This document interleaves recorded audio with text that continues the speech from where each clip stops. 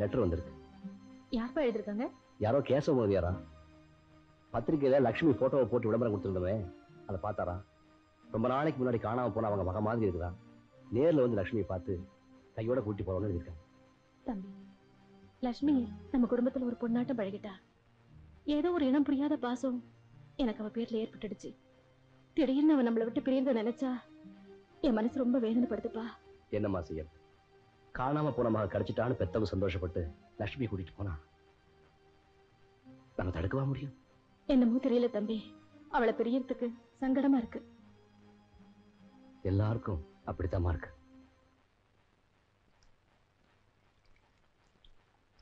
அம்மா விஷயம் தெரியுமா உனக்கு? மதுரையில இருந்து டாக்டருக்கு ஒரு லெட்டர் வந்துருது. உங்க அப்பா அம்மா விளம்பரத்தை பார்த்துச்சு நேரா இங்க வந்து உன்னை பார்த்துச்சு. கையோட கூட்டிட்டு போக போறாங்களாம்மா? லெட்டர் வந்தது டாக்டரே உங்ககிட்ட சொன்னாரா? நான் என்ன அவ்வளவு பெரிய மனுஷனா? என்கிட்ட சொல்றது. அவங்க அம்மா கிட்ட சொல்லிட்டே இருந்தாரு. காதை விட்டேன். சேதி காதுல வந்து விழுந்தது.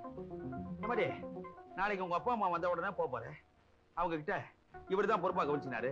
அப்படின்னு எனக்கு ஏதாவது ஒரு அஞ்சு ரூபாய் வாங்கி கொடுமா? வெறும் அஞ்சு இல்ல ஐயாயிரம். பாத்தியா?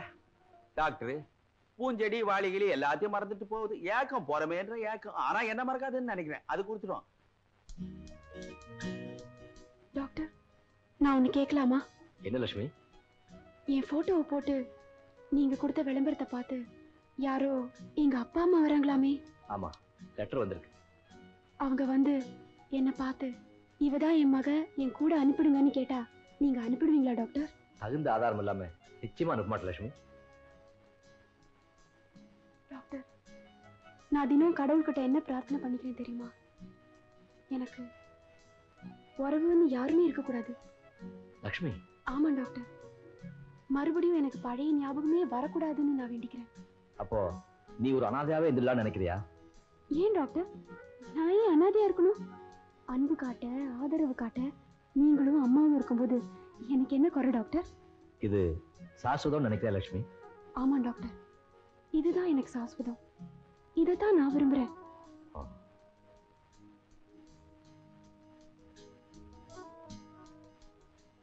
அன்னைக்கு போட்டோ எடுக்க வந்தியே? அந்த பொண்ணு கூட பழைய நினைவெல்லாம் மறந்து போச்சுன்னு சொல்லல? அந்த பொண்ணை கூட்டிட்டு போறதுக்கு அவங்க அப்பா அம்மா வராங்களாம். ரங்கா ரங்கா அந்த அப்பா அம்மாவுக்கு மத்தியில பொண்ணை நிறுத்தி ஒரு போட்டோ எடுத்து பத்திரிக்கையில பேட்டி கொடுத்தா பத்திரிக்கைக்காரங்க பணம் கொடுப்பாங்க ஐயா. அலையிற உனக்கு பணம் வரும். எனக்கு என்னாச்சு? அதுல பாதியே நான் உனக்கு தர்றேன். இது நியாயம். எப்ப வர்ற பேட்டி எடுக்க? நாளை காலையில. அப்ப அப்பா அம்மாவை நான் அப்படியே பிளாக் பண்ணி வைக்கிறேன். ஓகே. ஐயா. யாரு நீங்க? டாக்டர் சிவா. அவர் வீடு தான் இது. பேப்பர்ல ஒரு பொண்ணு போட்டோ போட்டு விளம்பரம் வந்திருந்ததே அது விஷயமா தான் நான் வந்திருக்கேன். ஏற்கனவே ஒரு கடிதம் கூட போட்டிருந்தேனே நான் வரப்போறதாக. அது நீங்க தானா டாக்டர் கூட சொன்னாரு நீங்க வர போறீங்கன்னு வாங்க வாங்க இப்படி உட்காருங்க. ஏங்க நம்மளுக்கு எந்த ஊரு? மதுரை பக்கம். ஆமா பொண்ணு இப்படி ஓடி வந்துடுச்சே ஒரு கண்டிச்சு வளர்க்கலையா? பந்தோபஸ்தா இல்லையா? இந்த காலத்து பொண்ணுங்க எங்களை காப்பாத்திக்க எங்களுக்கு தெரியும்னு சொல்லுதுங்க. அதுங்க சொல்லிட்டா நீங்க விட்டுறதா? அதான் இப்படி அலையறீங்க நீங்க. ஏங்க பொண்ணுக்கு என்ன வயசு? பதினெட்டு சதய நட்சத்திரங்க. நட்சத்திரம்லாம் ஏமா எனக்கு? சம்பந்தமா பேச போறேன்? அம்மா இந்த மாதிரி ஓடி வந்துருச்சே. அது என்ன காதல் விவகாரமா? இல்ல கண்டிப்பான கல்யாணமா? அதெல்லாம் ஒண்ணும் இல்லைங்க. டாக்டர் எப்போ வருவாரு? நீங்க பேச்ச மாத்தாதீங்க. பொண்ணை பெத்துட்டோமா ரக்கையை கட் பண்ணி தான் வளர்க்கணும். ரக்கையோட விட்டீங்க அதுங்க பறந்துரும். ஏன் என் குடும்பத்தை எடுத்துக்கோ? வாடிங்க. இதான் என்னுடைய சம்சாரம். பேரு வள்ளிங்க. ஏன் ஊர் என்னவா? வள்ளிப்பாளையம்? உங்க ஊர் கண்டிஷன் எல்லாம் சொல்லு. எங்க ஊர்ல எல்லாம் வீட்டு வாசல்ல கோலம் போட மாட்டாங்க. கோடு தான் போடுவாங்க. எதுக்கு? பொண்ணுங்க தாண்டாம இருக்கணும்ன்றதுக்காக அவ்வளவு கண்டிஷனுங்க போட்டான் கண்டிஷன் உங்க அப்பா பொல்லாத கண்டிஷன் போட்டான். வாசல்ல கோடு போட்டவன் கொல்ல பக்கம் கோட்டை விட்டான். இந்த பொண்ணு தாண்ட பார்த்து தட்டிக்கிட்டு வந்துட்டேன். ஏன் சொல்றேன் நான் எல்லாத்தையும்? உஷாரா இருக்கணும். தயவு செஞ்சு டாக்டரை கூப்பிடுறீங்களா? ஏன் அவ்வளவு செழிப்பு உங்களுக்கு? பொண்ணை கூட்டிட்டு ஊருக்கு போறப்போ என்கிட்ட சொல்லாம போயிடாதீங்க. ஏன்? ஏன்னா பத்திரிகையில பேட்டிக்கு அரேஞ்ச் பண்ணிருக்கிறேன் இந்த முகர கட்டியெல்லாம் பத்திரிகையில வரணுமா? என்ன? டாக்டர் வராரு. ஆமா டாக்டர் வர்றாரு வணக்கம். வணக்கங்க. அட்வர்டைஸ்மெண்ட் பார்த்து லெட்டர் போட்டது நீங்க தானே ஆமாங்க. விளம்பரத்தை பார்த்த உடனே ஆண்டவன் எங்களுக்கு கருணை காட்டிட்டான். எங்க பொண்ணை எங்க கிட்டே ஒப்படைச்சிட்டான்னு நாங்க ரொம்ப சந்தோஷப்பட்டோங்க. உங்க பொண்ணை எவ்வளவு நாளா காணோம்? வீட்டை விட்டு போய் ஆறு மாசம் ஆச்சுங்க. எந்த சூழ்நிலையில அவ வீட்டு விட்டு வெளியே போனா? உங்ககிட்ட நான் மறைக்க விரும்பலீங்க. எதிர் வீட்டு பையனோட எங்க பொண்ணுக்கு ஸ்நேகம் இருந்தது. இப்ப காணாம போனதுல இருந்து அந்த பையனையும் காணுங்க. என்னங்க எங்க பொண்ணை சீக்கிரமா எங்க கூட அனுப்பிச்சிடுங்க.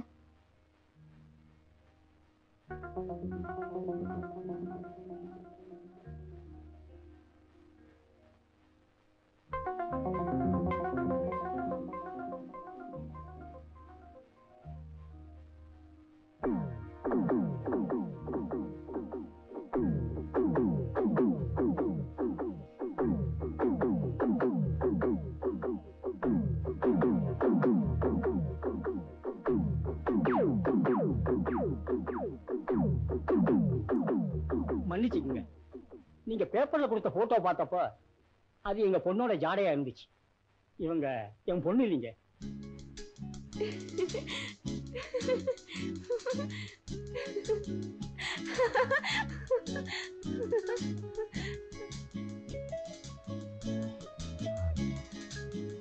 அம்மா ஒரு சந்தோஷமான சமாச்சாரம். என்னம்மா? பத்திரிகையில போட்டோ பார்த்துட்டு அவங்க பொண்ணா இருக்குமோன்னு வந்தாங்களே அவங்க என்ன பார்த்தாங்க அவங்க பொண்ணு இல்லைன்னு போயிட்டாங்க. இந்த சூழ்நிலையும் இப்போ இருக்கிற வாழ்க்கையும் இப்படியே நிலைச்சு இருக்கணும்னு நான் வேண்டிக்கிறேன். அதுதாம்மா என் ஆசை. ஏ ரங்கா. வாயாங்க என்ன போட்டோ அந்த பொண்ணுடைய அப்பா அம்மா வந்தாங்களா? வந்தாங்களே. பத்திரிக்கை பேச்சு விஷயமா சொன்னியா? சொன்னேனே. வெரி குட் வெரி குட் எப்ப அவங்க பார்த்து கேள்வி எல்லாம் கேட்கலாம்? ஏன் என் வயிற்றுச்சல் கிளப்புற? அவங்க நேரா வந்து அந்த பொண்ணை உத்து பார்த்தாங்க இது என் பொண்ணு இல்லைன்னு சொல்லிட்டு போயிட்டாங்க. விஷயமே சப்புன்னு போச்சு.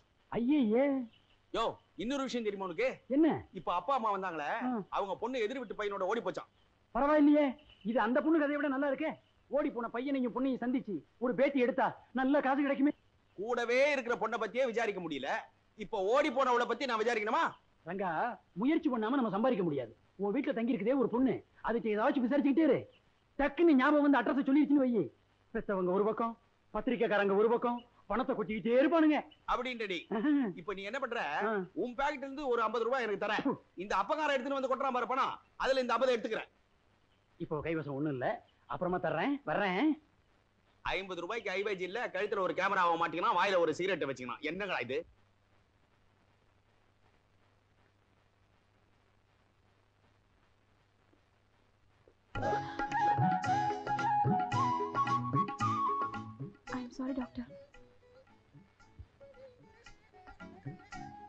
என்ன டாக்டர் அப்படி பாக்குறீங்க? ட்ரெஸ் எல்லாம் சேஞ்ச் ஆயிருக்கு. சீரியஸா வேலை பார்க்குறியோ? ரொம்ப சீரியஸ் டாக்டர் ம். இவ்வளவு நாளா புடவட்டி நர்சிங் வந்துட்டு இருந்தேன். இப்போ மட்டும் நான் திடீர் சேஞ்ச் நான் புடவை கட்டிட்டு வந்தா மத்த நர்சஸ் கிட்ட இருந்து விலகி இருக்க மாதிரி தோணுது. அதனால தான் இந்த ட்ரெஸ் சேஞ்ச் இந்த ட்ரெஸ் போட டிப்ளமா வேணுமே? டாக்டர் நோயாளிகளை கவனிக்க அவங்களுக்கு பணிவிட செய்ய நல்ல மனசு இருந்தா போதும். டிப்ளமா குவாலிஃபிகேஷன் அவசியம் இல்லை. நல்ல விளக்க லட்சுமி அப்படின்னு நான் நினைக்கிறேன்.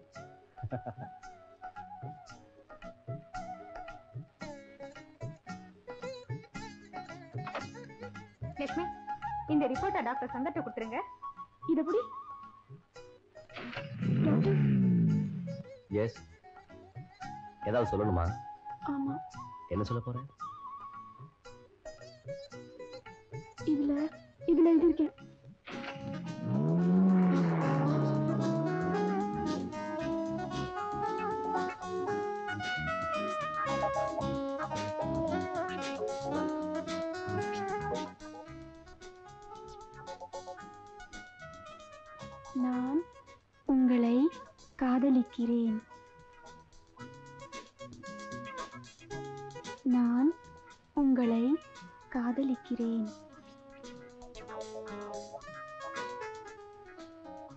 நான் உங்களை காதலிக்கிறேன்.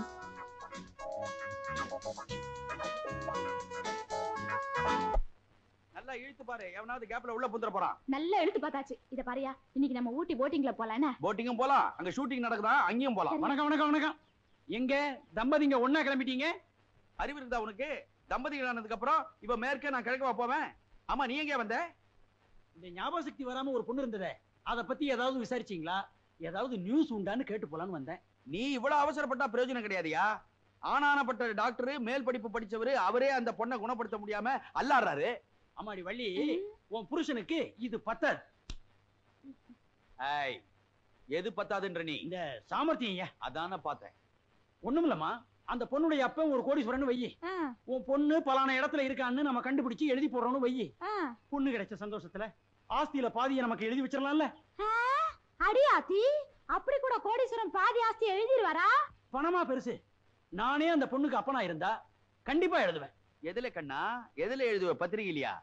நாற்பது பைசா டீயை குடிச்சிட்டு ஓசியில புகை விடுறவ நீ? நீயா எழுதுவ? அட நீ ஒண்ணு. அந்த ஆள் ஒரு பேச்சுக்கு தானே சொல்றாரு. அவரு சொன்னதுக்கு அப்புறம் தான் எனக்கே கூட ஒரு ஆசை வந்திருக்கு. அந்த பொண்ணை நம்ம விடாம ஏதாவது ஒண்ணு கேட்டுக்கிட்டே இருக்கணுமியா. நீ நீ புத்திசாலி. அடிக்கடி என் கையை நிட்டுற. இனிமே வீட்டு பக்கம் நீ வரக்கூடாது. போட்டோ ஸ்டுடியோவிலே இரு. நீ கழுவினே இரு. சொல்றதை கேட்டுக்கினியா? ரங்கா திடீர்னு பொல்லாத சந்தேகம் வந்துருச்சு. ஏயா சந்தேகம் வருது? சந்தேகம் வரக்கூடாதியா? நம்ம போட்டிங் போலாமா? போலாயா? எனக்கும் போட்டிங்கன்னா ரொம்ப ஆசை. பாதி லேக்ல கவுத்துருவேன். ஜாக்கிரதை. அட வாயா.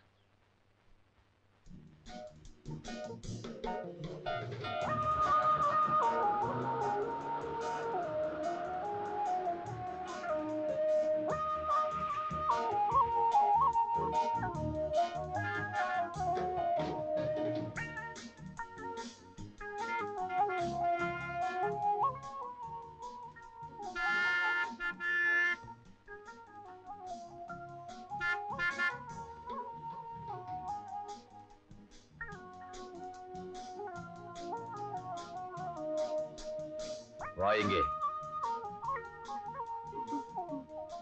குட் மார்னிங் உன் மனசுல நீ என்னதான் நினைச்சுக்கிட்டு இருக்க? என் மனசுல மனசுல ஒண்ணு இல்ல. இன்னைக்கு ரெண்டு ஒண்ணு முடிவு பண்ணா உன்னை விட போறது இல்ல ஏர் கார்ல வந்து ம். அங்க போற முன்னாடி. உட்கார்.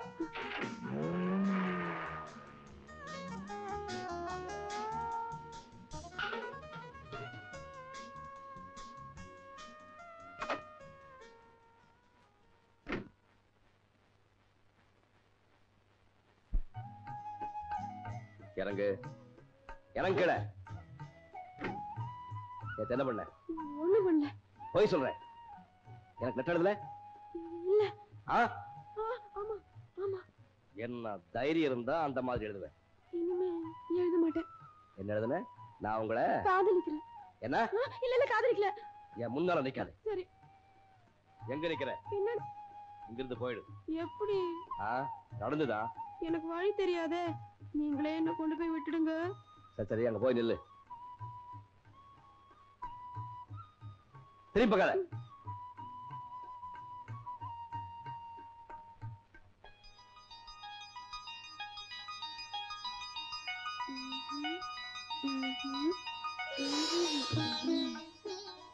வாயை திறந்து படி நானும் உன்னை காதலி என்ன பார்த்து என்ன பார்த்து சொல்லு நானும். நான் உங்களை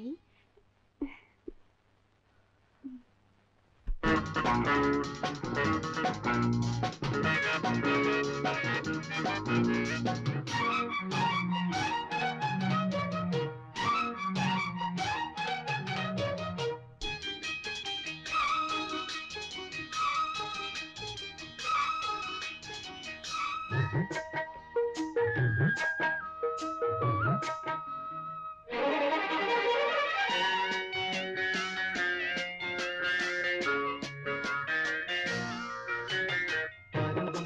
அணிந்து வந்த பாவை வருக புடவை அணிந்து வந்த பூவே வருக. ஆஹா சொந்தம் ஆனந்தம் சுகம் தெய்வீகம் இது நிரந்தர வரம் தரும். ஆஹா சொந்தம் ஆனந்தம் சுகம் தெய்வீகம் இது நிரந்தர வரம் தரும். கண்ணோடு கண்ணாக ஒன்றோடு ஒன்றாக. பருவம் கனிந்து வந்த பாவை இவளே புடவை பணிந்து வந்த பூவும் இவளே. யாரோ எழுதிய கவிதை மனப்பாடம் செய்தேன் வரிகளை. இவள் யாரோ எழுதிய கவிதை மனப்பாடம் செய்தேன் வரிகளை. காதல் பருவம் அணிந்து வந்த பாவை இவளே புடவை அணிந்து வந்த பூவும் இவளே.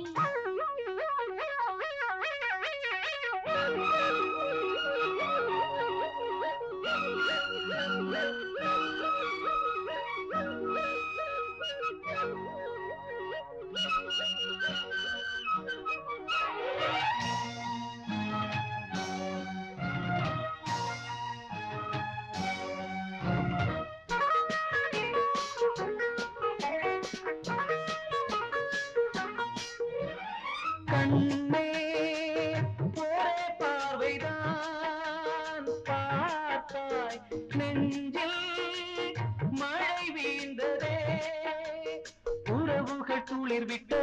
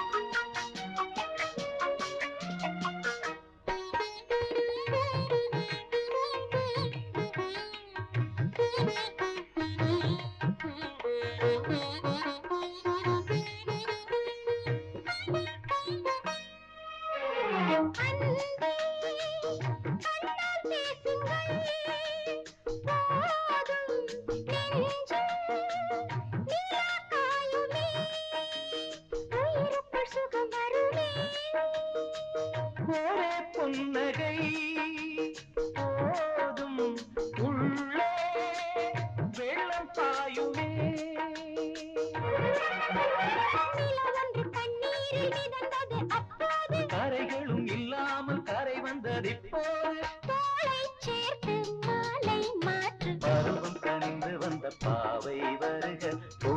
அணிந்து வந்த பூவே வருக சொந்தம் ஆனந்தம் சுகம் தெய்வீகம் இது நிரந்தர வரம் தரும் கண்ணோடு கண்ணாக ஒன்றோடு ஒன்றாக